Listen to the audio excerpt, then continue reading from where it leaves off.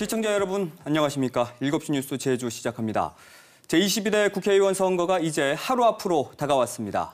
제주시 갑 선거구에 출사표를 던진 더불어민주당 문대림, 국민의힘 고광철 후보는 마지막 1분 1초까지 아껴가며 유권자의 선택을 받기 위한 총력 묘세전에 나섰습니다.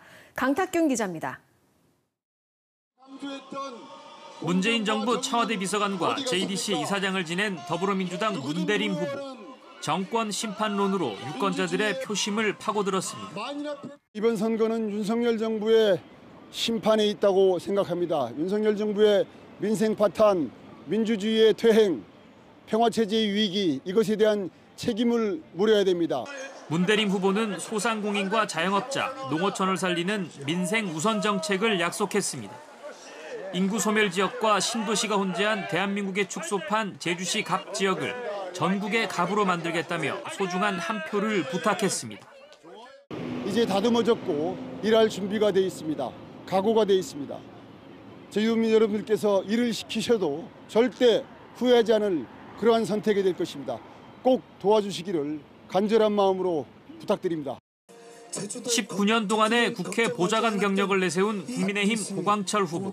민주당 독주를 끝내야 한다며 새 인물 교체를 강조했습니다. 민주당이 20년 제주도를 방치했습니다. 이 게으른 민주당을 이번 선거에서 도민들께서 반드시 심판해 주실 것입니다. 그리고 국민의힘이 더 잘하겠습니다. 고광철 후보는 4.3 유가족으로서 4.3의 완전한 봄이 오도록 정의로운 해결을 약속했습니다.